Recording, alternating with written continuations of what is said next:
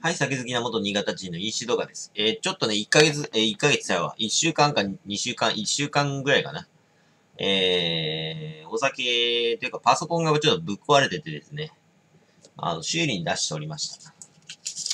で、えー、今回飲むのは、じゃん、えー、ワインです。赤ワインですね。王様の涙。王様の涙という赤ワイン。えー、ナンバーワンスペインワインということで書いてあります。えー、愛されて20年。こちらが、えー、アルコール度数13%。えー、原産国がスペインで、えー、容量が 750ml でだいたい500円ぐらいだったかな。安かったです。えーと、酸化防止剤と保存料が入ってると書いてあります。えーっと、うん。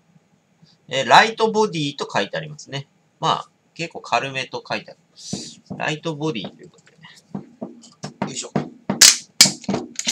まあ、これが Amazon のね、レビューでね、まあ、非常に高かったんで、ちょっと買ってみようかなという。まあ、買ってみたわけです。それではカピー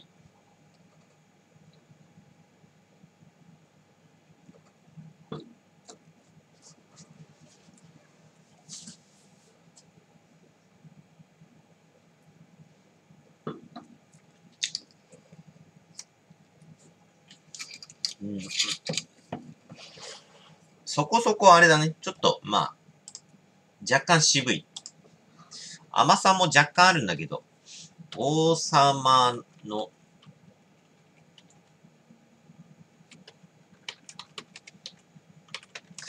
王様の涙。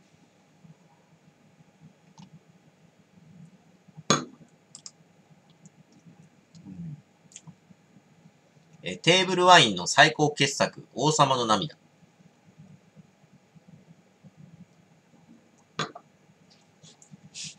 えっ、と、王様の涙はスペインのバルセロナから南西に 40km の、えーペネデス地方に、えー位置している、えーウクサワイナリーで、えー作られています。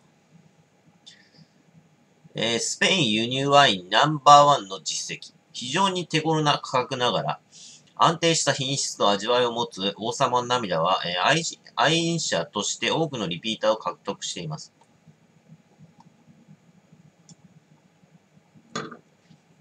これ冷やしたらもっとうまい。これ今常温で飲んでるからな。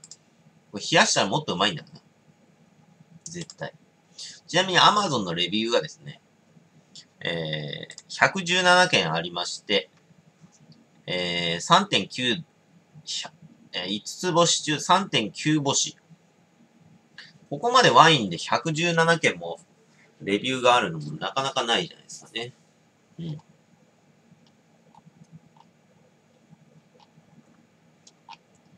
えーっと、美味しい安ワイン。ワイン好きの旦那さんは美味しいと春、えー昼から半分ほど、えー一人で飲んでました。うん。うん。まあ、結構、あの、渋さもあるんだけど甘さもあるんだよね。うん。甘さもちゃんとちょっとあるんですよ。うん。まあ値段も500円で、あの、500円でスペインナンバーワンのワインが飲めるんだったら、まあありがたいんじゃないなあ。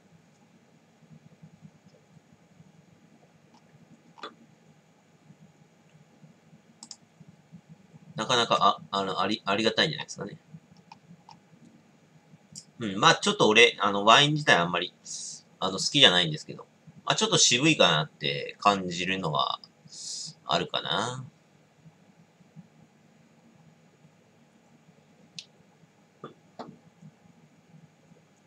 でもまあ、まあ、こんなもんだろうな。赤ワインなんてこんなもんだよ。もうちょっとやっぱ飲みやすいのは白ワインなんでしょうね。うん。まあ白ワインの方がおそらく飲みやすいではないかと。